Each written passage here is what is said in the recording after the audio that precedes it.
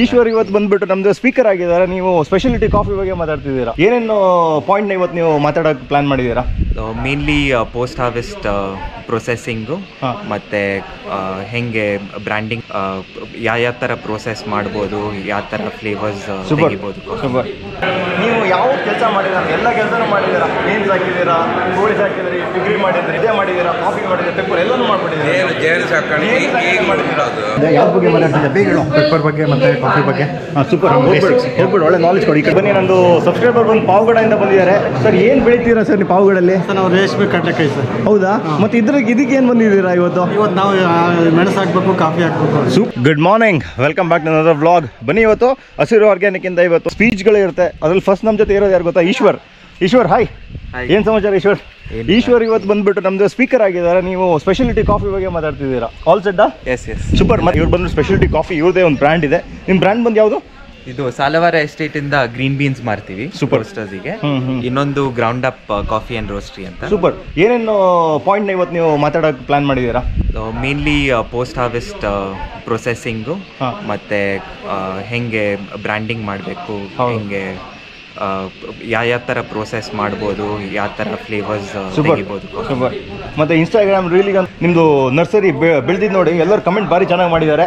ಮತ್ತೆ ಅಷ್ಟೇ ವ್ಯೂನು ಸಿಕ್ಕಿದೆ ಭಾರಿ ಚೆನ್ನಾಗಿ ಮಾಡಿದೆ ಇವತ್ತು ಗೌರಕ ಸಿಕ್ಕಿದ್ದಾರೆ. ಹಾಯ್ ಗೌರಕ ಗುಡ್ ಮಾರ್ನಿಂಗ್ ಬನ್ನಿ ಬನ್ನಿ ನೋಡಿ ರಿಜಿಸ್ಟ್ರೇಷನ್ ಎಲ್ಲ ಆಗ್ತಾ ಇದೆ. ಏಯ್ ಕರಣ್ ಗುಡ್ ಮಾರ್ನಿಂಗ್ ಏನು ಸಮಾಚಾರ ಅಣ್ಣ ಮತ್ತೆ? ಹಲೋ ಸರ್ ಏನು ಸಮಾಚಾರ? Hi hi Kaleshwara car industry ಓ ಹೌದಾ? ಸೂಪರ್ ಸೂಪರ್ ಸೂಪರ್ ನೈಸ್ ಮತ್ತೆ ಸರ್ ಏನು ಸಮಾಚಾರ? ಸೂಪರ್ ಅರವಿಂದ್ ಅಣ್ಣ ಗುಡ್ ಮಾರ್ನಿಂಗ್ ಗುಡ್ ಮಾರ್ನಿಂಗ್ ಏನು ಸಮಾಚಾರ ಅಣ್ಣ? ಹೆಂಗಿದ್ದೀರಾ? ಏನು ವಿಶೇಷ? ಹೇಳಿ ನೋಡಿ.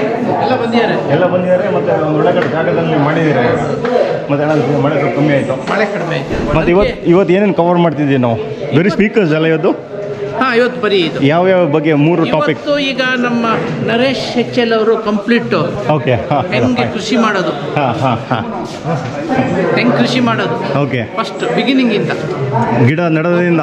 ಒಬ್ಬರಿಗೆ ಒಂದು ಈಗ ಖಾಲಿ ಲ್ಯಾಂಡ್ ಕೊಟ್ರೆ ಅವನಲ್ಲಿ ಏನ್ ಹಾಕ್ಬೇಕು? ಹೌದು. ಹೆಂಗ್ ಹಾಕ್ಬೇಕು? ಯಾವ ವೆರೈಟಿ ಗಿಡ ಹಾಕ್ಬೇಕು? ಡಿಸ್ಟೆನ್ಸ್ ಏನು? Super full planning yes yes ಆಮೇಲೆ next topic? ಈಶ್ವರ್ ಅವ್ರು ಮಾತಾಡ್ತಾರೆ. ಹೌದು. ಅದು ಸ್ಪೆಷಾಲಿಟಿ ಕಾಫಿ ಬಗ್ಗೆ. ಸೂಪರ್ ಹಾಂ ಹಾಂ. ಇನ್ನು ಕರಣ್.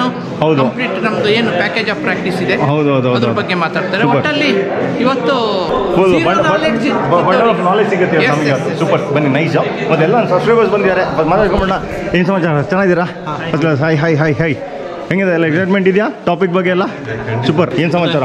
ಎಲ್ಲ ಸರ್. ಸಮಾಚಾರ? ಬನ್ನಿ. ಶಿಶಿರು? ಹೌದಾ? ಸೂಪರ್ ನೋಡಿ ಬನ್ನಿ ನಂದು ಸಬ್ಸ್ಕ್ರೈಬರ್ ಬಂದು ಪಾವಗಡದಿಂದ ಬಂದಿದ್ದಾರೆ. ಸರ್ ಏನು ಬೆಳಿತೀರಾ ಸರ್ ನೀವು ಪಾವಗಡಲ್ಲಿ? ಸರ್ ನಾವು ರೇಷ್ಮೆ ಕೈ ಸರ್ ಹೌದಾ? ಮತ್ತೆ ಇದ್ರ ಇದಕ್ಕೆ ಏನು ಬಂದಿದ್ದೀರಾ ಇವತ್ತು? ಇವತ್ತು ನಾವು ಮೆಣಸು ಹಾಕ್ಬೇಕು ಕಾಫಿ ಹಾಕ್ಬೇಕು. ಸೂಪರ್ ಬನ್ನಿ ಬನ್ನಿ. ಎಲ್ಲ ನೋಡಿದ್ರೆ ಟ್ರೈ ಮಾಡಿ. ಫ್ಯೂಚರ್ ಇದೆ ಮೆಣಸಿಗೂ ಮತ್ತು ಕಾಫಿ ಒಳ್ಳೆ ಫ್ಯೂಚರ್ ಇದೆ. ನೀವು ಕರೆಕ್ಟಾಗಿ ಯಾವ ಥರ ಮಾಡ್ಬೋದು ಏನು ನೋಡ್ಕೊಂಡ್ಬಿಟ್ಟು ಮಾಡಿ ಹಂಡ್ರೆಡ್ ಪರ್ಸೆಂಟ್ ಆಗಿ ಆಗುತ್ತೆ. ಆಯ್ತಾ?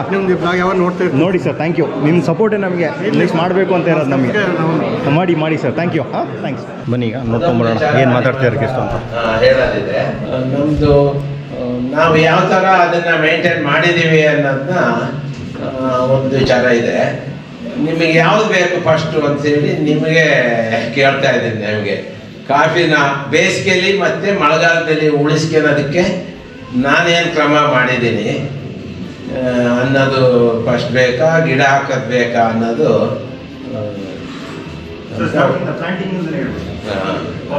ಆಯ್ತು.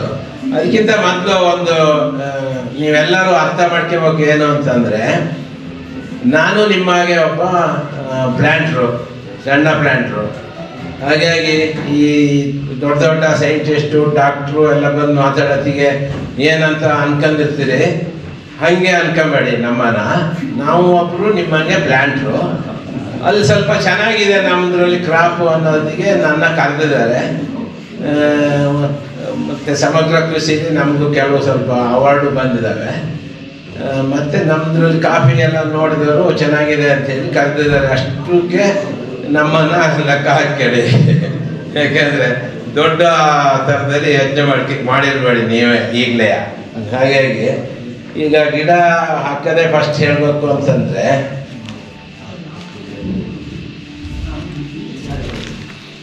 ಯಾಕೆಂದ್ರೆ ನಾವು ಚಿಕ್ಕದ್ರಿಂದನೂ ತೋಟದಲ್ಲೇ ಇದ್ಕಂದೆ ಸ್ಕೂಲಿಗೆ ಹೋಗ್ಬಂದು, ಕಾಲೇಜಿಗೆ ಹೋಗ್ತಿದ್ದು ಹೀಗೆಲ್ಲ ನಾವು ಹುಟ್ಟಿದಾಗಿಂದನೂ ಕಲಿತಾ ಬಂದಿರೋದು.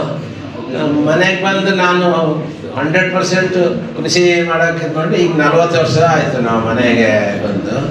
ಅವಾಗಿಂದ ನಾವು ಏನು ಅಂತಂದರೆ ಫುಲ್ಲು ಕೃಷಿಲೇ ತೊಡಸ್ಕೊಂಡಿರೋದು. ಆ ಕಡೆ ಬಿಸ್ನೆಸ್ಸು ಮತ್ತು ಈ ಕಡೆ ಕೃಷಿ ಅಂತಿಲ್ಲ. ಆ, ಥರ ಮಾಡಿರೋದು ನಾವು. ಹಾಗಾಗಿ ನಮ್ಮ ಅನುಭವ ಹೇಳ್ತೀವಿ.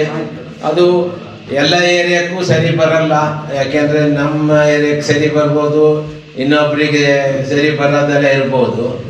ಆಮೇಲೆ ನಾವು ಮಾಡೋದೇ ಸರಿ ಅಂತನೂ ಅಲ್ಲ. ಯಾಕೆಂದರೆ ತುಂಬ ಥರ ಇದೆ. ಎಲ್ಲದೂ ಸರಿನೇ. ನಮ್ಮದು ನಮಗೆ ಸರಿ ಅವ್ರದ್ದು ಅವ್ರಿಗೆ ಸರಿ. ಯಾಕೆಂದರೆ ನಿಮಗೆ ಯಾವ್ದು ಸರಿ ಅನಿಸ್ತದೆ ಅದನ್ನ ನೀವು ಫಾಲೋ ಮಾಡಿ. ನಿಮಗೆ ಅದು ಬೇಡ ಅನಿಸಿದ್ರೆ ಅದು ಬಿಡಿ. ಅಷ್ಟು ನನ್ನ ಒಂದು ಸಜೆಷನ್ ನಿಮಗೆ.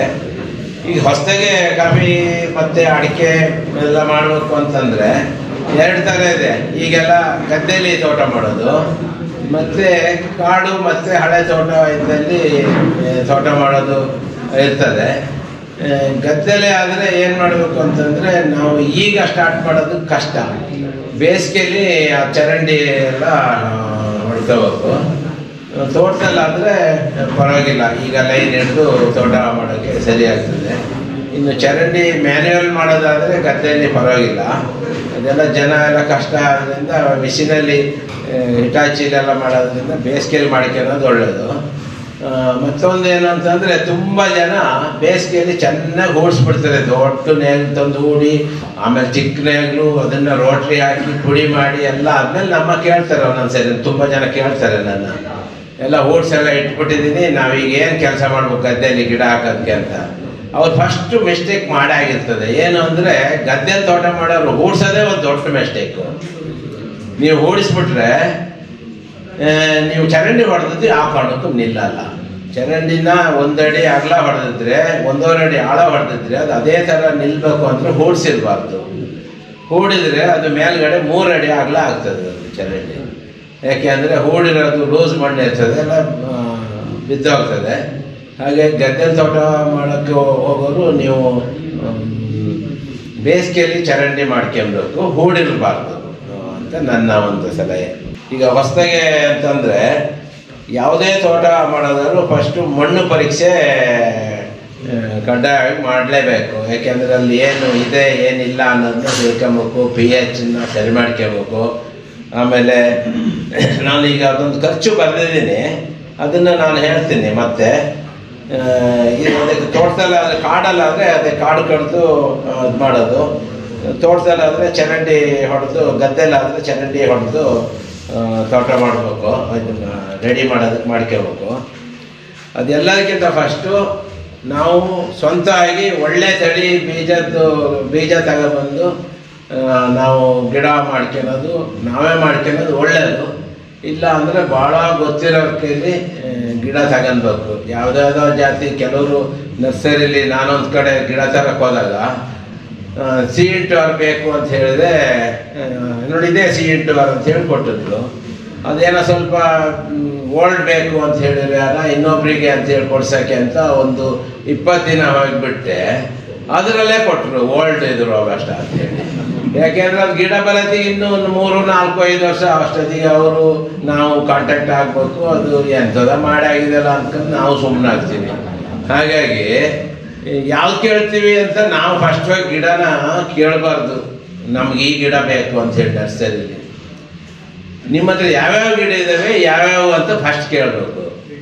ಆವಾಗ ನಾವು ಇಂಥ ಗಿಡ ಬೇಕು ಅಂತ ಕೇಳ್ಬೋದು. ಇದ್ರ ಕೆಲವರು ವ್ಯಾಪಾರ ಆಗಲಿ ಅಂತ ನೀವು ಯಾವ ಕೇಳ್ತೀರಿ ಅದನ್ನೇ ಇದೇ ಗಿಡ ಅಂತ ಹೇಳ್ತಾರೆ. ಅದೇನು ಅಂತಂದ್ರೆ ನಾವು ಒಳ್ಳೆ ಬೀಜ, ಒಳ್ಳೆ ತಳಿ ಇದು ಸೆಲೆಕ್ಟ್ ಮಾಡಿ ಬೀಜ ತಂದು ಹಾಕಿ ಅದನ್ನ ಜನವರಿ, ಫೆಬ್ರವರಿಲಿ ಹಾಕಿಬಿಟ್ಟು ಇದು ಮಾಡಬೇಕು. ಈಗ ಅದೆಲ್ಲ ಬೇಡ ಅಂತಂದರೆ ಕ್ಲೋನಲ್ ಇದು ಕಾಫಿ ಪೌಡಲ್ಲಿ ಮಾಡ್ತಾ ಇದ್ದಾರೆ. ಅದು ಭಾಳ ಒಳ್ಳೆಯದು ನಿಮಗೆ ಒಂದು ಎಕರೆಯಲ್ಲಿ ಎಷ್ಟು ಗಿಡ ಹಿಡಿತೀರೋ ಅಷ್ಟು ಒಂದೇ ಥರ ಇರ್ತವೆ ಗಿಡ. ಒಂದು ಫಸ್ಟ್ ಎರಡು ಕೆ ಜಿ ಹಿಡಿಯೋದಿದ್ದರೆ ಒಂದು ಹತ್ತು ಕೆ ಜಿ ಹಿಡಿಯೋದು ಆ ಥರ ಡಿಫ್ರೆನ್ಸ್ ಇರಲ್ಲ. ಕ್ಲೋನಲ್ ಗಿಡ ತಂದರೆ ಒಳ್ಳೆಯದು ಅದು. ಅದು ಮಾಡ್ತಾ ಇದ್ದಾರೆ ಕಾಫಿ ಬೋರ್ಡಲ್ಲಿ ನಿಮಗೆ ಮಣ್ಣು ಪರೀಕ್ಷೆ ಮಾಡಿಸಿ, ಮಾಡಿ ಅಂತ ಹೇಳಿದ್ನಲ್ಲ, ಮಣ್ಣು ಪರೀಕ್ಷೆ ಮಾಡೋದಾದ್ರೆ ನೀವು ಗುಂಡಿ ತೆಗೆದು ಮಾಡೋದೆಲ್ಲ ಕ್ರಮ ಗೊತ್ತಿರ್ಬೋದು. ಈಗ ಇನ್ನೂ ಒಂದು ಸುಲಭದ್ದು ಅಂತ ಹೇಳಿ ಒಂದು ಇಂಚ್ ಪೈಪ್ ತಗೊಂಬಿಟ್ಟು ಮುಕ್ಕಾಲು ಅಡಿಗೆ ಗುರ್ತು ಮಾಡಿ ಈ ನೆಲಕ್ಕೆ ಹೊಡೆದ್ಬಿಟ್ಟು ಆ ಪೈಪಲ್ಲಿ ಏನಿರ್ತದೆ, ಆ ಮಣ್ಣು ತಕ್ಕಂದ್ರೆ ನಿಮ್ಗೆ ಒಂದು ಈಸಿ ಕಡಿಮೆ ಕಡಿಮೆ ಮಣ್ಣು ಸಿಗ್ತದೆ. ಇಲ್ಲಾಂದ್ರೆ ನಾವು ಮುಕ್ಕಾಲಡಿ ಸಬ್ಬಲ ಗುಂಡಿ ತೆಗೆದ್ಬಿಟ್ಟು, ಅದರಲ್ಲಿ ತಗೊಂಡು ಜಾಸ್ತಿ ಜಾಸ್ತಿ ಬರ್ತದೆ. ಎರಡು ಥರ ಮಾಡ್ಬೋದು. ಇದು ಸುಲಭ ಪೈಪಲ್ಲಿ. ಈಗ ಗದ್ದೆಲೆ ಅಂತಂದ್ರೆ ಏನ್ ಮಾಡ್ಬೇಕು ಅಂದ್ರೆ ಪ್ಲಸ್ ಥರದಲ್ಲಿ ದೊಡ್ಡ ಚರಂಡಿ ಮಾಡ್ಕೋಬೇಕು. ಎರಡು ಅಡಿ ಎರಡು ಅಡಿ ಅಗಲದ್ದು, ಪ್ಲಸ್ ಒಂದು ಅಡ್ಡ, ಒಂದು ನಮ್ಮ ಜಾಗದಲ್ಲಿ ಮಧ್ಯದಲ್ಲಿ ಒಂದು ಮಾಡಿ ದೊಡ್ಡ ಚರಂಡಿ ಮಾಡಿ. ಎಲ್ಲ ಚರಂಡಿನೂ ತಗೊಬಂದು ಅಲ್ಲಿಗೆ ಬೀಳೋದಕ್ಕೆ ಮಾಡಬೇಕು. ಆಮೇಲೆ ಲೈನು ಎಲ್ಲ ಹಿಡಿಬೇಕು. ಈ ಚರಂಡಿ ಹೊಡೆಯೋರು ಹೇಗೆ ಲೈನ್ ಹಿಡಿಬೇಕು ಅಂದರೆ ಈ ಬಾರ್ಡ್ರಲ್ಲಿ ಮಾತ್ರ ಮೇಲೊಂದು, ಕೆಳಗಡೆ ಒಂದು ಲೈನ್ ಹಿಡಿಬೇಕು. ಚರಂಡಿ ಗದ್ದೆಯಲ್ಲಿ ಮಾಡೋದು. ಮೇಲೆ ಅಂತಂದರೆ ಒಂದು ಚರಂಡಿ ಹೊಡೆಯೋದಕ್ಕೆ, ಅಲ್ಲಿಂದ ಅಲ್ಲಿಗೆ ಹಗ್ಗ ಹಾಕಿ ಸುಣ್ಣ ಹಾಕೋದಕ್ಕೆ ಒಂದು. ಇನ್ನೊಂದು ಗೂಟ, ಇನ್ನೊಂದು ಹತ್ತು ಅಡಿಗೆ ಹಿಡಿದ್ರೆ ಐದು ಅಡಿಗೆ ಒಂದೊಂದು ಗೂಟ ಹಾಕ್ಬೇಕು. ಎರಡನೇದೇನು ಅಂತಂದರೆ ಇದು ಚರಂಡಿ ಆದಮೇಲೆ ಲೈನ್ ಹಿಡಿಯೋದಕ್ಕೆ ಒಂದು, ಎಕ್ಸ್ಟ್ರಾ ಒಂದು ಲೈನು ಹಿಡಿದಿರ್ಬೇಕಲ್ಲೇ. ಯಾಕೆಂದ್ರೆ ನೀವು ಲೈನ್ ಎಲ್ಲ ಹಿಡಿದ್ಮೇಲೆ ಹೆಟಾಚಿ ಬಿಟ್ಟರೆ ಅದೆಲ್ಲ ಬೀಳಿಸಿ ಎಲ್ಲ ಇದು ಮಾಡ್ತದೆ. ಆಗಲ್ಲ ಬಾರ್ಡ್ರಲ್ಲಿ ಮಾತ್ರ ಒಂದು ಲೈನ್ ಹಿಡಿದು ಮತ್ತೆ ಮಾಡಬೇಕು. ಗುಂಡಿ ಮಾಡೋದು ಒಂದೂವರೆ ಅಡಿ ಸಾಮಾನ್ಯ ಸೇರ್ ಅಂತ ಮಾಡ್ತಾರೆ ಮುಚ್ಚದ್ದು ಆಮೇಲೆ ಇನ್ನೇನು ಮುಚ್ಚೋದು, ಕಾಂಪೋಸ್ಟ್ ಹಾಕಿ ಮುಚ್ತಾರೆ. ನಾನು ನಮ್ಮ ಕಡೆ ಜಾಸ್ತಿ ಮಳೆ ಇದ್ದಲ್ಲಿ ನಾನೇನು ಹೇಳೋದು ಅಂತಂದರೆ ಗಿಡ ನೆಡೋದಕ್ಕಿಂತ ಈ ಮಳೆಗಾಲದಲ್ಲಿ ಗಿಡ ನೆಡೋದಕ್ಕೆ ಒಳ್ಳೆ ಕಾಂಪೋಸ್ಟ್ ಇದ್ದು ಪುಡಿ ಆಗಿದ್ರು ಪರವಾಗಿಲ್ಲ. ಅವಾಗ ಅರ್ಜೆಂಟಿಗೆ ಸಗಣಿ ಯಾವುದೋ ಕರಿಗೆ ಇದು ಕಳಿಸ್ದಲೇ ಇರೋದನ್ನ ತಗೊಂಡು ಹಾಕಿದ್ರೆ ನಿಮ್ಮ ಗಿಡಕ್ಕೆ ತೊಂದರೆನೇ ಅದು, ಹಾಕ್ಲೇಬಾರ್ದು. ಅದಕ್ಕೆ ನಾನೇನು ಹೇಳೋದು, ಮಣ್ಣೆ ಮುಚ್ಚಿ ನಡಿ. ಆಮೇಲೆ ಈ ಈ ಗಿಡ ನಟ್ಟೆಲ್ಲ ಆದಮೇಲೆ ಈ ಗುಣಸೇವೆ ಅಂತೇಳಿ ಗುದ್ಲಿಲೆಲ್ಲ ಅಗಿಯೋದಿದೆ. ಅವಾಗ ಕಾಂಪೋಸ್ಟ್ ಹಾಕಿ ದರ್ಗು ಎಲ್ಲ ಮುಚ್ಚಿ ಅಂತ ಹೇಳ್ತೀವಿ. ನಾನೇನು ಮಾಡ್ತೀನಿ ಅಂತಂದರೆ ಗಿಡ ಎಲ್ಲ ನೆಟ್ಟು ಸೆಪ್ಟೆಂಬರಲ್ಲಿ ಅದನ್ನು ಸುತ್ತ ಅಗಿತೀವಿ ಎಲ್ಲ ಸೆಂಟಾಗಿ ಗುಣಸೇವೆ ಮಾಡೋದು ಅಂತ ಹೇಳ್ತೀವಿ. ಆಗದಾಗ ಏನು ಮಾಡ್ತೀವಿ, ಆಗದ ಮೇಲೆ ಕಾಂಪೋಸ್ಟ್ ಹಾಕಿ ಚೆನ್ನಾಗಿ ಅಗದ್ಬಿಟ್ಟು ಅದ್ರ ಮೇಲ್ಗಡೆ ಮಲ್ಚಿಂಗ್ ಮಾಡಬೇಕು. ಮಲ್ಚಿಂಗು ಮಾಡೋದಕ್ಕೆ ಎಲ್ಲ ತುಂಬ ಕಷ್ಟ, ಹೊರಗಡೆಯಿಂದ ತರಬೇಕು ಅಂತ ಅಂದರೆ ನಾನೇನು ಮಾಡಿದ್ದೆ, ಹುರುಳಿ ಕಾಳು ಹಾಕಿದ್ದೆ. ಅಡಿಕೆ ಗಿಡ ಮತ್ತು ಕಾಫಿ ಗಿಡದ್ದು ಗಡ್ಡೆಗೆಲ್ಲ. ಆ ಹುರುಳಿ ಕಾಳು ಚೆನ್ನಾಗಿ ಬೆಳೆದು ಅದು ಮಲ್ಚಿಂಗು ಆಯಿತು. ಅದು ನೈಟ್ರೋಜನ್ನು ಬಿಡುಗಡೆ ಮಾಡ್ತದೆ ಭೂಮಿಗೆ. ಸೊಪ್ಪು ಎಲ್ಲ ಕರಗಿ ಗೊಬ್ಬರನೂ ಆಗ್ತದೆ ಒಳ್ಳೆ ಇದು ಹುರುಳಿ ಕಾಳು ಹಾಕೋದು ಬಟ್ಟೆಗೆ ಸೆಪ್ಟೆಂಬರು ಮಳೆ ಇದ್ದಾಗ ಆ ಟೈಮಲ್ಲಿ ಅಕ್ಟೋಬರ್, ಸೆಪ್ಟೆಂಬರ್. ಈಗ ಕರೆಂಟ್ ಟಾಪಿಕ್ ಇದೆ. ಯಾವ ಬಗ್ಗೆ ಮಾತಾಡ್ತಿದ್ದೆ? ಬೇಗ ಹೇಳು. ಪೇಪರ್ ಬಗ್ಗೆ ಮತ್ತೆ ಕಾಫಿ ಬಗ್ಗೆ. ಹಾಂ ಸೂಪರ್ ಹೋಗ್ಬಿಡು ಒಳ್ಳೆ ನಾಲೆಜ್ ಕೊಡಿ ಈ ಕಡೆಯಿಂದ. ಬಾ ಇಲ್ಲಿಂದ. ಸೂಪರ್ ಮಿಸ್ ಮಾಡ್ಬಿಡಿ ಅವಾಗ ಬಟ್ ನರೇಶ್ ಅಂಕಲ್ ಮಾತಾಡ್ಬೇಕಾದ್ರೆ ನಾವು ಒಂದು ಏನು ಅರ್ಥ ಮಾಡ್ಕೋಬೇಕು ಅಂತಂದ್ರೆ ಅವರು ಎಲ್ಲ ಮಾತಾಡಿದ್ದು ಎಕ್ಸ್ಪೀರಿಯನ್ಸ್ ಮೇಲೆ. ಎಷ್ಟು ಎಕ್ಸ್ಪೀರಿಯನ್ಸ್ ನಿಮ್ಗೆ ಎಷ್ಟು ಹೆಲ್ಪ್ ಆಗುತ್ತೆ? ಅಥವಾ ಈ ಥರ ಸೆಮಿನಾರ್ಗಳು ಏನಕ್ಕೆ ತುಂಬ ಹೆಲ್ಪ್ ಆಗುತ್ತೆ ಅನ್ನೋದಕ್ಕೆ ಅವರು ಆಲ್ಮೋಸ್ಟ್ ಒಂದು ಮೂವತ್ತು ಮೂವತ್ತೈದು ವರ್ಷದಿಂದ ಮಾಡ್ತಿದ್ರು ಅಂಕಲ್. ಟೋಟಲ್ ನಲ್ವತ್ತು ವರ್ಷ. ನಲ್ವತ್ತು ವರ್ಷದಿಂದ ಮಾಡ್ತಿದ್ರು.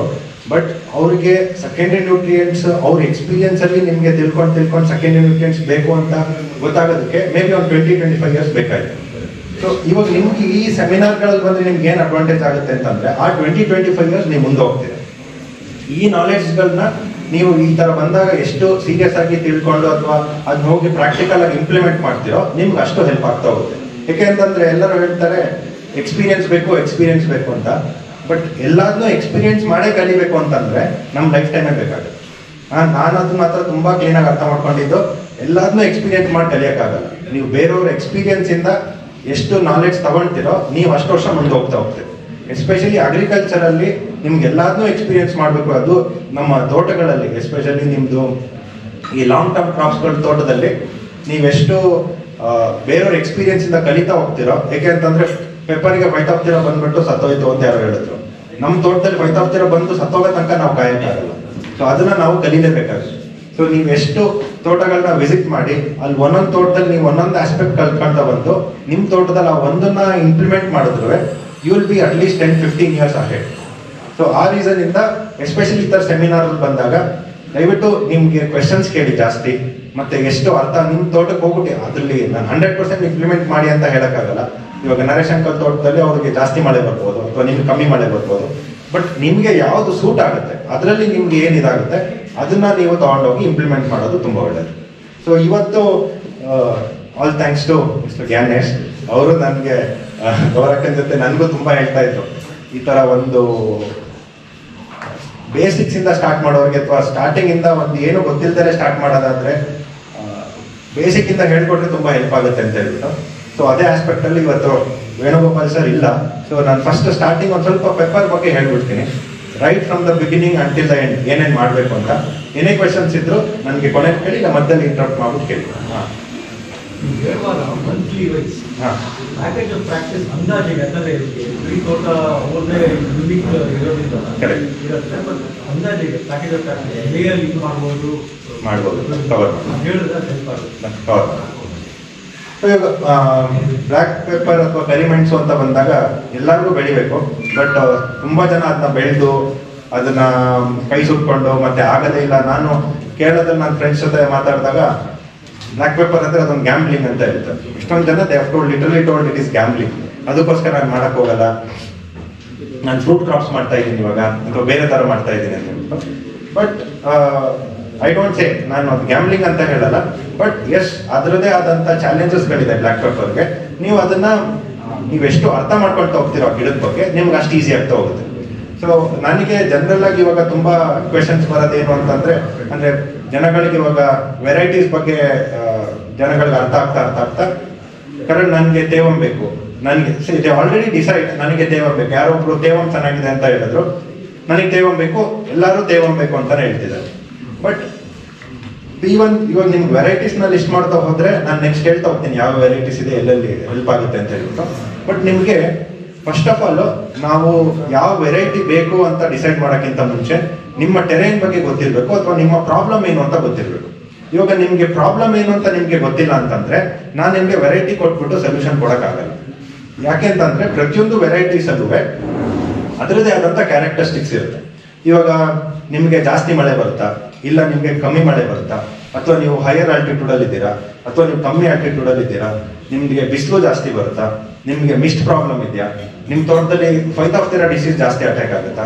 ನಿಮಗೆ ನೆಮಟೋಡ್ಸ್ ಜಾಸ್ತಿ ಪ್ರಾಬ್ಲಮ್ ಇದೆಯಾ? ಮಿಲಿ ಬಾಕ್ಸ್ ಇದೆಯಾ? ಸೊ ಈ ತರ ಡಿಸೀಸಸ್ಗಳು ಅಥವಾ ನಿಮಗೆ ಪ್ರಾಬ್ಲಮ್ ಏನು ಅಂತ ನಿಮಗೆ ಗೊತ್ತಿದ್ರೆ, ನಾವು ಅವಾಗ ಆ ಪ್ರಕಾರ ನಿಮಗೆ ವೆರೈಟೀಸ್ನ ಕೊಡ್ಬೋದು. ಇಲ್ಲ ಅಂತಂದ್ರೆ ಜನರಲ್ ಆಗಿ ಯಾರೋ ತೇವ ಮಾಡ್ತಾರೆ ಅಂತ ಹೇಳ್ಬಿಟ್ಟು ನಾನು ತೇವ ಮಾಡ್ತೀನಿ ಅಂತಂದ್ರೆ ಅದೆಲ್ಲದಕ್ಕಿಂತ ಪನೀರ್ ಒನ್ ಇಸ್ ಬೆಟರ್ ಯಾಕೆ ಅಂತಂದ್ರೆ at least it is prove that it will grow everywhere ಅದು ಎಲ್ಲ ಕಡೆ ಬೆಳೆದೇ ಬೆಳೆಯುತ್ತೆ ಅಂತ ಗ್ಯಾರಂಟಿ ಸೊ ನಿಮಗೆ, ಯಾರಿಗೆ ಆದ್ರೂ ಅಷ್ಟೇ ಫಸ್ಟ್ ಒಂದು ವೆರೈಟಿ ಡಿಸೈಡ್ ಮಾಡಬೇಕು ಅಂತಂದ್ರೆ, ದಯವಿಟ್ಟು ನಿಮ್ಮ ತೋಟದಲ್ಲಿ ಏನು ಪ್ರಾಬ್ಲಮ್ ಆಗಿದೆ ಅನ್ನೋದನ್ನ ನೀವು ಫಸ್ಟ್ ತಿಳ್ಕೊಳ್ಳಿ. ನಿಮ್ ಪ್ರಾಬ್ಲಮ್ ಏನು ಅಂತ ಗೊತ್ತಿಲ್ಲ ಅಂತಂದ್ರೆ, ನಿಮಗೆ ಸ್ವಲ್ಪ ಪೆಪ್ಪರ್ ವೆರೈಟೀಸ್ ಹೆಲ್ಪ್ ಮಾಡಲ್ಲ. ಯಾರಿಗೆ ಆದ್ರೂ ಅಷ್ಟೇ ಪೆಪ್ಪರ್ ವೆರೈಟೀಸ್ ಹೆಲ್ಪ್ ಆಗೋದೇ ಇಲ್ಲ ನಿಮ್ಮ ಪ್ರಾಬ್ಲಮ್ ಇದೆ ಅಂತ. ಸೊ ಇವಾಗ ನಾನು ನಾನು ಐಡೆಂಟಿಫೈ ಮಾಡಿದ್ದೀನಿ last least last ten to twelve years ಅಲ್ಲಿ ನಾನು ಏನು ಐಡೆಂಟಿಫೈ ಮಾಡಿದ್ದೀನಿ ಅಂತಂದ್ರೆ, ನಮ್ಮ ತೋಟದಲ್ಲಿ ಜಾಸ್ತಿ ಮಳೆ ಆದ್ರೂ ನಮ್ಗೇನು ಪ್ರಾಬ್ಲಮ್ ಇಲ್ಲ.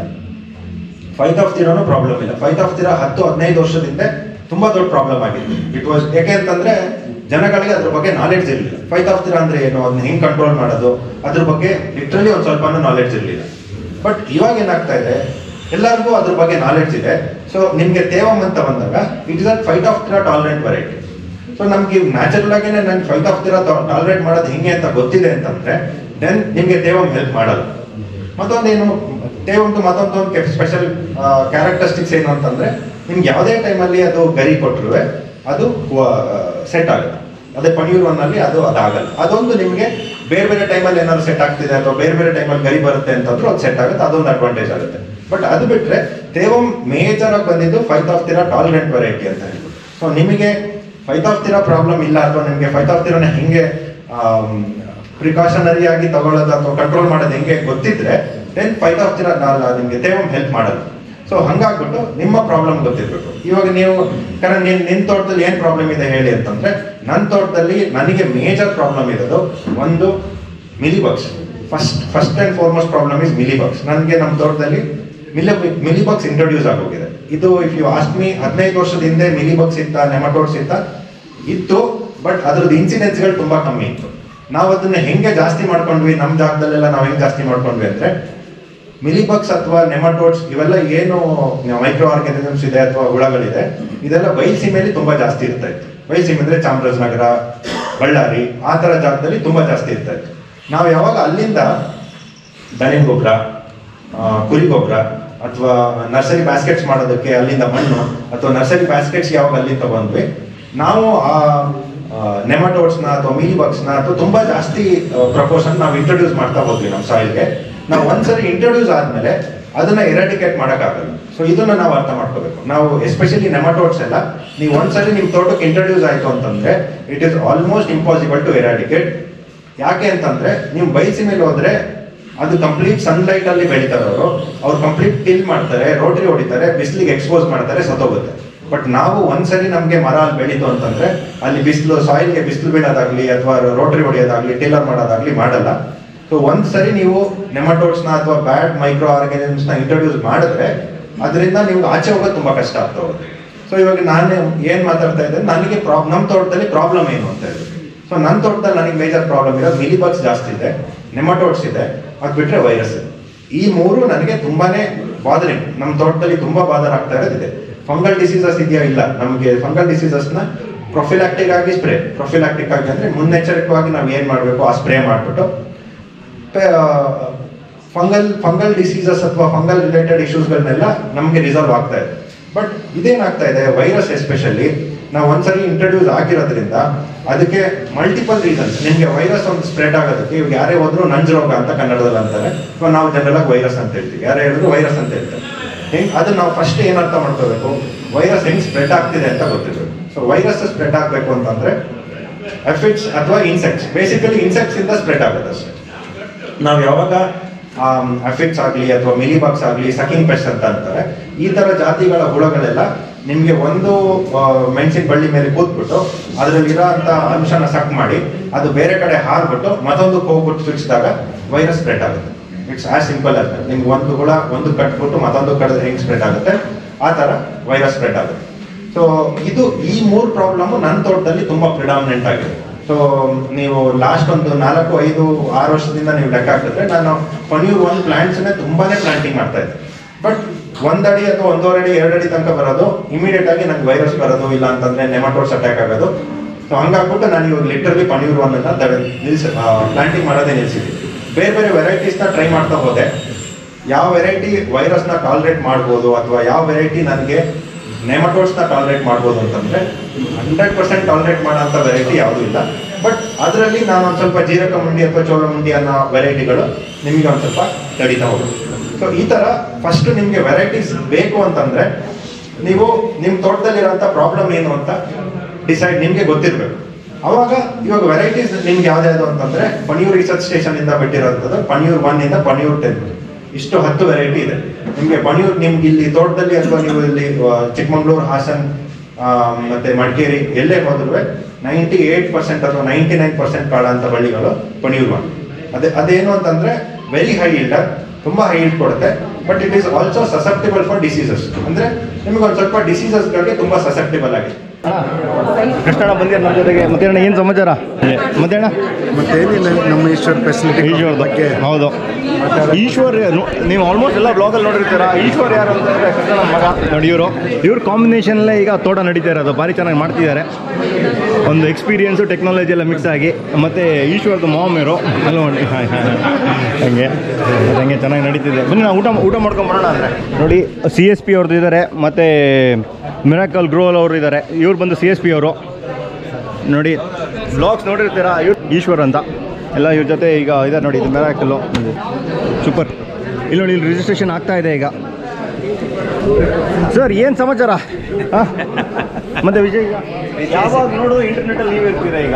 ಎಲ್ಲ ಅಗ್ರಿಕಲ್ಚರ್ ವಿಡಿಯೋಸ್ ಅಲ್ಲೂ ನೀವೇ ಇರ್ತೀರಾ ಪೇಪರಲ್ಲಿ ಇರ್ತೀರಾ ಪೇಪರಲ್ಲಿ ಇರ್ತೀರಾ ಕಾರ್ತಿಕರ ಇಂಡಿಯಾದಲ್ಲಿ ಇರ್ತೀರಾ ಇರ್ತೀರಾ ನಮ್ಮಲ್ಲಿ ಇದ್ದೇ ಇರ್ತೀರಾ?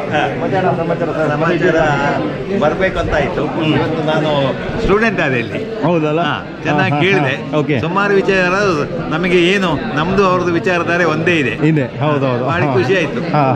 ಟಾಪ್ ಶೂಟಿನ ಬಗ್ಗೆ ಹೇಳುವಾಗ ನನ್ನ ನನ್ನ ಹತ್ರ ಕೈ ತೋರಿಸಿದ್ರು. ಹೌದು, ಹೌದು, ಹೇಳಿದ್ರು. ಅವ್ರು ಅವರು ಹಂಡ್ರೆಡ್ ಪರ್ಸೆಂಟ್ ಕರೆಕ್ಟ್ ಹೇಳಿದ್ರು. ಕರೆಕ್ಟ್. ಖುಷಿ ಆಯ್ತು. ಯಾಕಂದ್ರೆ ಎಲ್ಲರಿಗೂ ಏನು ನಾಲೆಜ್ ತಗೊಳ್ಳಿಕ್ಕೆ ಬರ್ತಾರೆ. ಅವರಿಗೆ ಅನುಕೂಲ ಆಗುತ್ತೆ. ಹೌದು. ಅವರು ಒಂದು ಮಾತು ಹೇಳಿದ್ರು. ಮಾಡಿದವರಿಂದ ತಿಳ್ಕೊಂಡ್ರೆ ನಮಗೆ ಇಪ್ಪತ್ತೈದು ವರ್ಷ ಮೂವತ್ತು ವರ್ಷ ಸೇವ್ ಆಗುತ್ತೆ. ನಾವು ಮಾಡುವಾಗ ನಮ್ಗೆ ಯಾರು ಕೊಡ್ತಾ ಇಲ್ಲ. ಹಾಗೆ ನಾವು ಕೆಲವು ಜನ ಈಗ ನಾವು ಕೊಡಬೇಕು. ನಿಮ್ಮ ಕಾಂಟ್ರಿಬ್ಯೂಷನ್ ಬೇಕೇ ಬೇಕು. ಅದೇ- ಅದಕ್ಕೆ ನಮ್ಗೆ ನಾವು ಕೃಷಿಯಲ್ಲಿ ಎಲ್ಲರೂ ನಮ್ಮ ದೇಶದ ಕೃಷಿ ಅವಲಂಬಿತ ದೇಶ. ಆದ ಕಾರಣ ಅದು ಅದು ಒಳ್ಳೇದಾಗಬೇಕು ಅಂತ. ಹೌದು. ಊಟ ಮಾಡಿದ್ರಾ? ಊಟ ಮಾಡಬೇಕು. ಬನ್ನಿ ಹೋಗುವ. ಊಟ ಮಾಡೋಕೆ ಅದೇ ವಿಶೇಷ ನಾವು ಅಂದ್ಕೊಂಡಿದ್ವಿ ವಿಯೆಟ್ನಾಮ್ ನೀವು ಬರ್ತೀರಾ ಅಂತ. ಇಲ್ಲ ಈ ಸರಿ ಬರೋಕ್ಕಾಗಿಲ್ಲ ನೆಕ್ಸ್ಟ್ ಪ್ಲಾನಲ್ಲಿ ಬನ್ನಿ ಮತ್ತೆ ಅಲ್ಲಿಗೆ. ನೆಕ್ಸ್ಟ್ ಎಲ್ಲ ಇಲ್ಲಿದ್ದಾರೆ ಅಲ್ಲಿ. ಮತ್ತೆ ಏನು ಸಮಾಚಾರ ಅಮ್ಮ ನೋಡಿ ನಮ್ಮ ಸಬ್ಸ್ಕ್ರೈಬರ್ಸ್ ಎಲ್ಲ ಇಲ್ಲಿದ್ದಾರೆ ಬಂದು ಮಾತಾಡ್ತಿದ್ದಾರೆ ಬರ್ತೀನಿ ಅಮ್ಮ ನೀನು? ನೀನು ಇರ್ತೀಯ ಅಂದ್ರೆ ಆಯ್ತು ಅಲ್ಲಿಗೆ. ಒಳ್ಳೆ ಒಳ್ಳೇದು. ನರೇಶ್ ಅಣ್ಣ. ಏನು ಮಾತಾಡಿದ್ರಿ ಅಣ್ಣ ಅಂದರೆ? ನಾರ್ಮಲ್ ಆಗಿ ಎಲ್ಲರೂ ಅರ್ಥ ಆಗಂಗೆ ಅಂತ ಪಾಯಿಂಟಲ್ಲಿ ಇತ್ತು. ಯಾರಿಗೂ ಹೊಸೊಬ್ರು ಬಂದು ಕನ್ಫ್ಯೂಸ್ ಆಗಿರಲಿಲ್ಲ ಆ ಪಾಯಿಂಟ್ ಹಂಗಿತ್ತು. ಭಾರಿ ಚೆನ್ನಾಗಿ ಮಾಡಿದ್ರು ಭಾರಿ ಖುಷಿ ಆಯಿತು. ಮತ್ತು ನಾನು ಇನ್ನೊಂದು ಹೇಳಿ, ನೀವು ಯಾವ ಕೆಲಸ ಮಾಡಿದ್ದೀರಾ? ಎಲ್ಲ ಕೆಲಸನೂ ಮಾಡಿದ್ದೀರಾ? ಮೀನ್ಸ್ ಹಾಕಿದ್ದೀರಾ? ಕೋಳಿ ಹಾಕಿದ್ರಿ ಡಿಗ್ರಿ ಮಾಡಿದ್ರಿ ಇದು ಗದ್ದೆ ಮಾಡಿದ್ದೀರಾ ಕಾಫಿ ಮಾಡಿದ್ದೀರಾ ಪೆಪ್ಪರ್ ಎಲ್ಲನೂ ಇವ್ರನ್ನ ಕೇಳಿ ಎಲ್ಲ ಎಕ್ಸ್ಪರ್ಟು ಹೌದು ಹೌದು ಹೌದು. ನಿಜವಾಗ್ಲೂ ಎರಡು ಜನ ಎಕ್ಸ್ಪರ್ಟ್ ಇವ್ರು ಎಲ್ಲ ಪ್ರೂವ್ ಮಾಡಿಬಿಟ್ಟಿದ್ದಾರೆ ಎಲ್ಲ ನಾವು ಇನ್ನೊಬ್ರು ಹೇಳಿದ್ನ ಕೇಳ್ಕೊಂಡು ಮಾಡೋದು. ಇವ್ರು ಇವ್ರು ಸೆಲ್ಫ್ ಸೆಲ್ಫ್ ಸೆಲ್ಫ್ ಮೇಡ್ ಹೌದು ನಾವು ನೋಡಿದೆ. ತುಂಬ ಖುಷಿ ಆಯ್ತು ನಮ್ಮ ಮಾತು ಅಷ್ಟೇ ಅಷ್ಟೇ ಎಲ್ಲರೂ ಅರ್ಥ ಆಗಂಗಿತ್ತು ಅದೊಂದು ಖುಷಿ ಆಯ್ತು ಏನಂತಾರೆ ಏನು ಹೇಳ್ತಾರೆ ಅವ್ರು ನಮ್ಮ ಹಸಿರು ಆರ್ಗ್ಯಾನಿಕ್ ಎಲ್ಲ ನೋಡ್ಬಿಟ್ಟು ಬಂದು ಫಸ್ಟ್ ಫಸ್ಟ್ ಟೈಮ್ ಬಂದಿಲ್ಲ ಸರ್ ಆರ್ಗ್ಯಾನಿಕ್ಗೆ ಇಲ್ಲ ಇಲ್ಲ ಬಂದಿದ್ದೀನಿ. ಲಾಸ್ಟ್ ಇಯರ್ ಅಲ್ಲ ಒಂದು ಸ್ಪೀಚ್ ಸ್ಪೀಚ್ ಇತ್ತಾ? ಇಲ್ಲ. ಇರಲಿಲ್ಲ. ಹಿಂಗೆ ಬಂದು ಓಕೆ ಓಕೆ ಟಾಕ್ ಇದ್ದಿದ್ದು ಇದೆ ಫಸ್ಟ್ ಅನ್ಸುತ್ತೆ ಹೌದು. ಸೂಪರ್ ಸೂಪರ್ ಸೂಪರ್ ತುಂಬ ಖುಷಿ ಆಯ್ತು ಅಣ್ಣ ಇನ್ನು ಮೀಟ್ ಮಾಡಿಬಿಟ್ಟು. Thank you thank you thanks ನೀವು ಹೇಳಬೇಕು ಹಿಂಗೆ ಹಿಂಗೆ ಬರ್ತಾ ಇದೆ. ಬರ್ತಾ ಇದೆ. ಸೂಪರ್ ಬನ್ನೀಗ ಸಬ್ಸ್ಕ್ರೈಬ್ ಮಾಡಿ. ಮಾಡಿದ್ದೀರಾ ಥ್ಯಾಂಕ್ಸ್ ಮಾಡ್ತಾ ಇರಿ. ಸಪೋರ್ಟ್ ಮಾಡ್ತಾ ತೊಂದರೆ ಇಲ್ಲ. ಮಾಡ್ತಾ ಇರಿ. ಸಬ್ಸ್ಕ್ರೈಬ್ ಮಾಡ್ತಾ ಇರಿ. ಹಂಗೆ ಹಂಗಿದೆ ಪಾಯಸ? ಏನು ಲಾಸ್ಟಿಗೆ ಡೆಸರ್ಟ್ ಸ್ಟಾರ್ಟ್ ಮಾಡಿಬಿಟ್ರಲ್ಲ ಫಸ್ಟಿಗೆ ಹೌದಾ?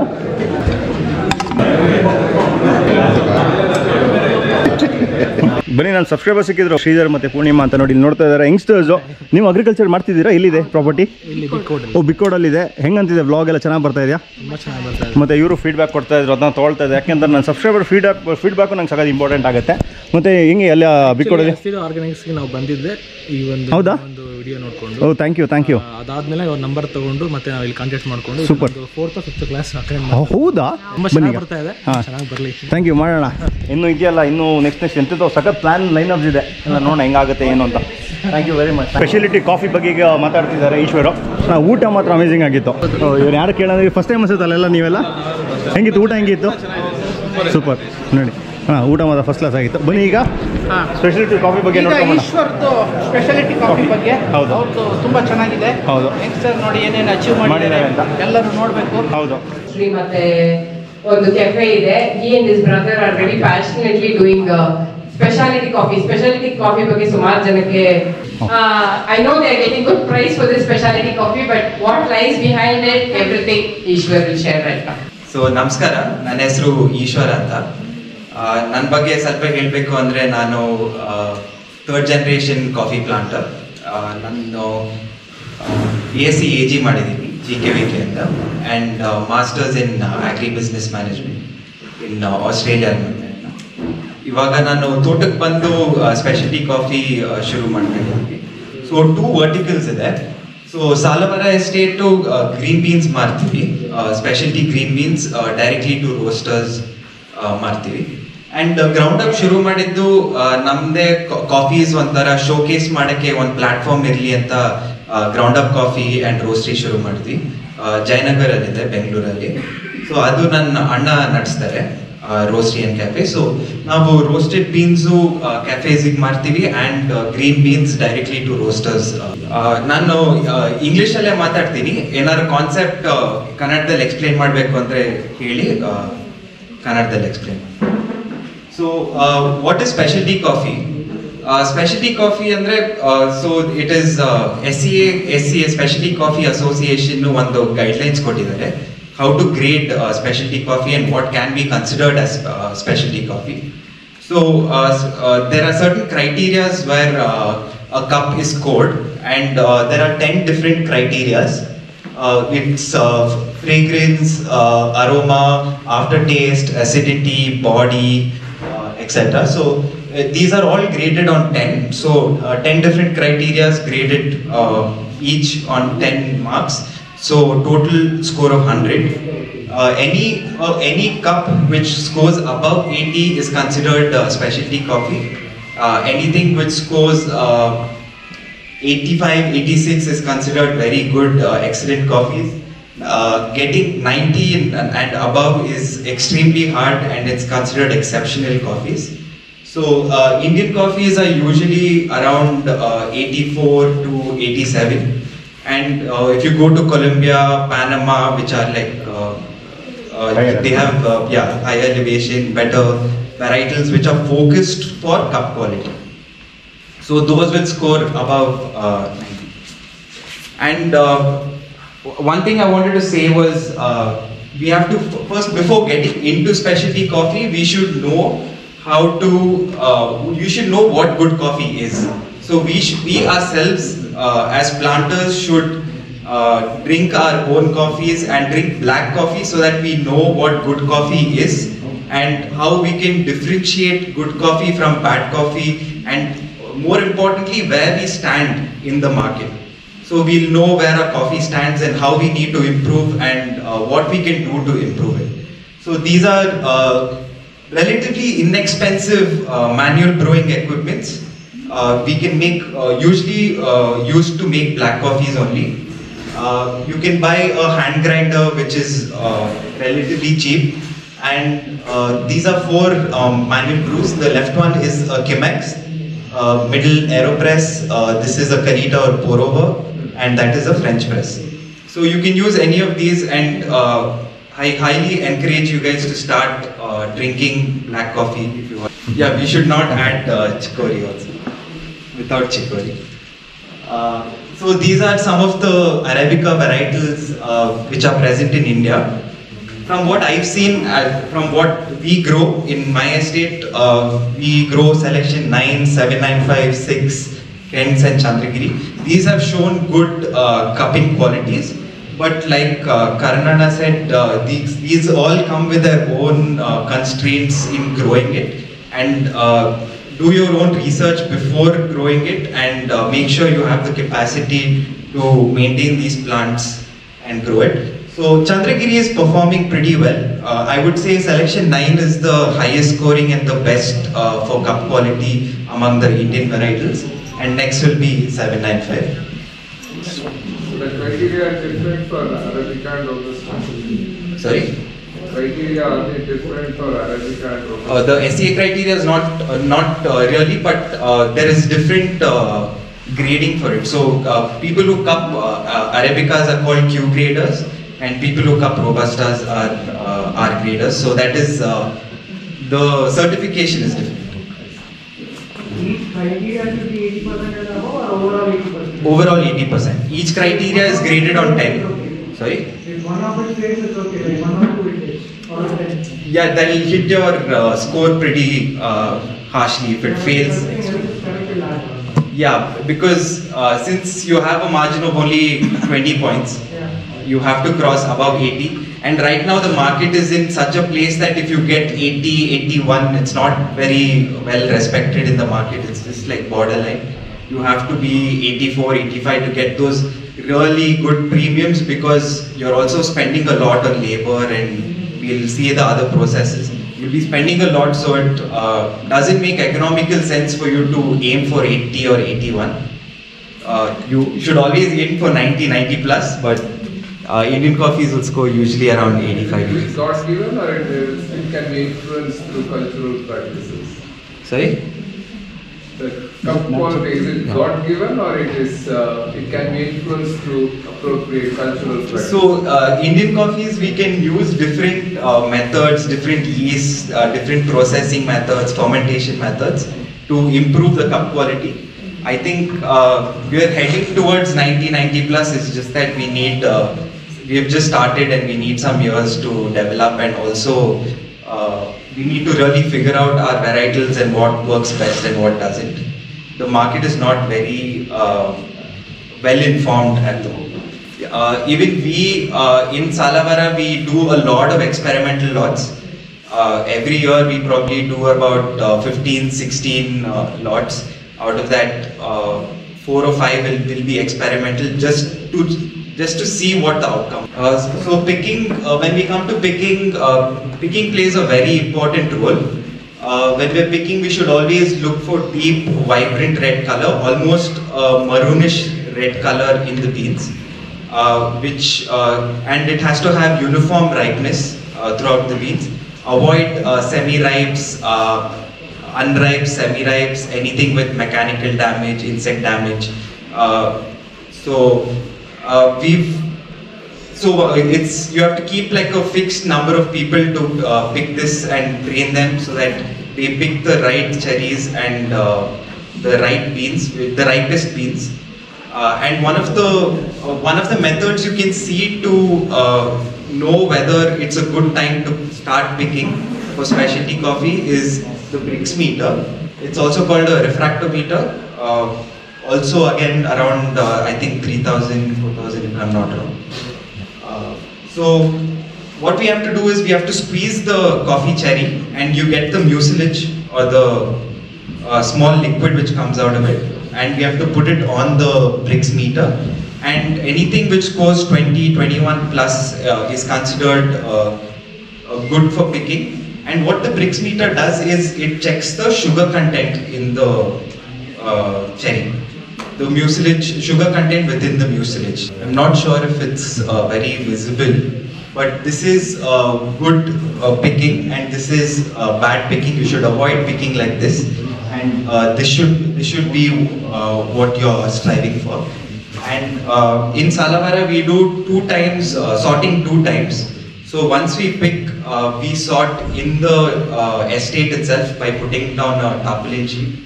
Uh, before weighing the coffee bags, we sort once there. And over here, what you're seeing is just before it goes into the processing and tanks, uh, we're sorting again. So it goes through a two-round process of sorting, so that we- we're picking the ripest cherries and uh, the best cherries. We remove off all the semi-ripes, unripes. Can we use color sorters? I mean, Uh, color sorters, yeah, some estates are using color sorters, but uh, there's a lot of issues with it because uh, when you're picking the liquid uh, which comes out of it, and when you put it in the bags, the, some of the cherries are getting squeezed because it's very ripe cherries.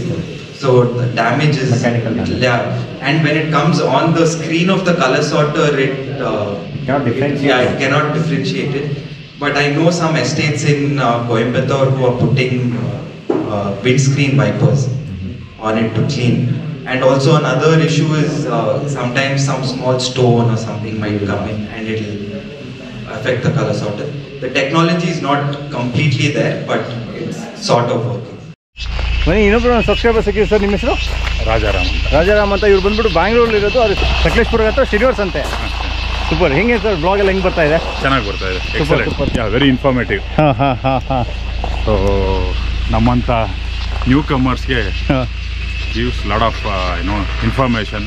Very useful thank you thank you thank you sir ಅಣ್ಣ ಬನ್ನಿ. Program ಅಂತ ultimate ಭಾರಿ ಚೆನ್ನಾಗಿತ್ತು. ಹೌದು. ಈಗ upcoming ಏನು ಅಂತಂದ್ರೆ ಲಾ next month ಇಷ್ಟೊತ್ತಿಗೆ ನಾವು ವಿಯೆಟ್ನಾಮಲ್ಲಿ ಇರ್ತೀವಿ ಎಸ್ yes, ಅದ್ರ yes. ಎಕ್ಸೈಟ್ಮೆಂಟು ಇದೆ ವಿಯೆಟ್ನಾಮ್ದು ಎಲ್ಲರೂ ಕಾಯ್ತಾ ಇದ್ದಾರೆ. ಹೌದು. ಯಾಕಂದ್ರೆ ದೊಡ್ಡ ಗ್ರೂಪ್ ಹೌದು. ಮೋಸ್ಟ್ಲಿ ಈ ತರ ಗ್ರೂಪ್ ಯಾವತ್ತು ಹೋಗಿಲ್ಲ. ಹೌದು. ಯಾಕಂದ್ರೆ ಅರವತ್ತೈದು ಜನ ಆಗಿದ್ದಾರೆ. ಹೌದು. ಇನ್ನೂ ಮೂವತ್ತೆರಡು ಜನ ರೆಡಿ ಇದ್ದಾರೆ. ರೆಡಿ ಇದ್ದಾರೆ. ನಾವು ಅವ್ರನ್ನ ತಗೊಂಡು. ನೆಕ್ಸ್ಟಿಗೆ ಹಾಕೊಂಡಿದೀವಿ ಅವ್ರನ್ನ. ಹೌದು. ಅವ್ರನ್ನ ವೇಟ್ ಮಾಡ್ತೀವಿ. ಇವತ್ತು ಅಷ್ಟೇ ತುಂಬಾ ಜನ. ಹೌದು. ನಾವು ಬರ್ಬೋದಾ ಸರ್? ನಾವು ಬರ್ಬೋದಾ ಇಲ್ಲ ಅದು ಆಗಲ್ಲ ಅಂತ. ಸೂಪರ್ ಬನ್ನಿ ಅಣ್ಣ ಇನ್ನೇನಿಲ್ಲ. ಭಾರಿ ಚೆನ್ನಾಗಿ ಯೂಶುವಲ್ ಭಾರಿ ಚೆನ್ನಾಗಿತ್ತು. ಗೇಟ್ ನಮ್ಗೆ ಹೌದು. ವಿಯೆಟ್ನಾಮ್ಗೆ ಹೋದ್ ಬಂದ್ಮೇಲೆ ಇನ್ನೂ ನಮ್ ಸಖತ್ ಇನ್ನೂ. ಪ್ರೋಗ್ರಾಮ್ ಇದೆ. ಇದೆ. ತುಂಬಾ ಚೆನ್ನಾಗಿ ಮಾಡಬೇಕು ಅಂತ ಇದೆ. ಹೌದು. ಅದು ನೋಡೋಣ. ಗ್ರ್ಯಾಂಡ್ ಸಕ್ಸಸ್ ಆಗಬೇಕು. ಏನಣ್ಣ ಎಲ್ಲೆಲ್ಲಿಂದ ಜನ ಬಂದಿದ್ದಾರೆ ಇವತ್ತು ಈಗ ಡೆಲ್ಲಿಯಿಂದ ಬಂದಿದ್ದಾರೆ ಇವತ್ತು. ಡೆಲ್ಲಿಯಿಂದ ಬಂದಿದ್ದಾರೆ. ಕೇರಳದಿಂದ ಯಾರೋ ಒಬ್ರು ಬಂದಿದ್ದಾರೆ. ಪಾವಗಡದಿಂದ ಯಾರೋ ಬಂದಿದ್ದಾರೆ. ಪಾವಗಡದಿಂದ ಬಂದಿದ್ದಾರೆ. ತುಂಬಾ ಖುಷಿ ಆಗುತ್ತೆ. ಒಳ್ಳೆ ಕೆಲಸ ಅಣ್ಣ. ಸೂಪರ್ ಅಣ್ಣ. ಸಿಗೋಣ ಅಂದ್ರೆ. ಥ್ಯಾಂಕ್ಸ್ ಬಾಯ್ ಇಲ್ಲಿಗೆ ಬ್ಲಾಗ್ ಏನು ಮಾಡ್ತೀನಿ ವಿಡಿಯೋ ಇಷ್ಟ ಲೈಕ್ ಮಾಡಿ ಶೇರ್ ಮಾಡಿ ಸಬ್ಸ್ಕ್ರೈಬ್ ಮಾಡಿ ಚೆನ್ನಾಗಿ ನೆಕ್ಸ್ಟ್ ಬ್ಲಾಗ್ ಸಿಗೋಣ thank you very much know that they ride are die I keep boys bye my side. Know that they ride.